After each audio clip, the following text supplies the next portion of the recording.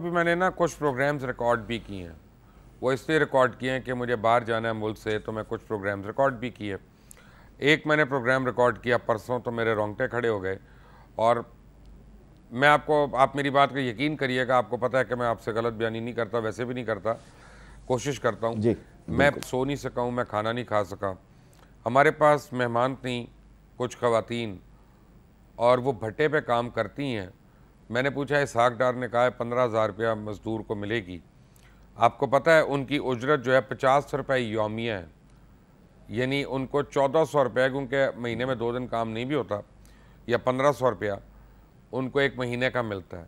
यानी हम फोर्स कर रहे हैं अपनी मजबूर ख़वातीन को कि वो इज़्ज़त और मेहनत की रोज़ी छोड़ के इसमत फरोशी की तरफ़ चले जाएँ। क्या ये जमहूरीत के सम्राट नहीं है?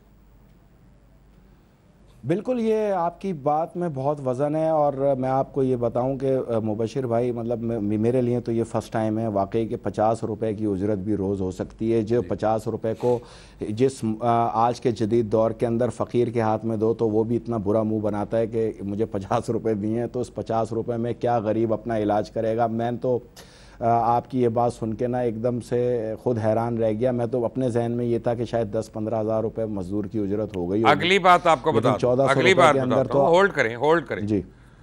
उसका एक औरत का बच्चा पैदा हुआ। तो उसके सेठ ने उसको कहा कि आज ही आना है और छः घंटे के डिलीवरी के बाद वरना उजरत नहीं मिलेगी। तो वो पैदा हुए बच्चे को उसी तरह साथ ले गई वहाँ पे बैठ के ईंटें बनाना शुरू हो गई। इसी मुल्क में हो रहा है।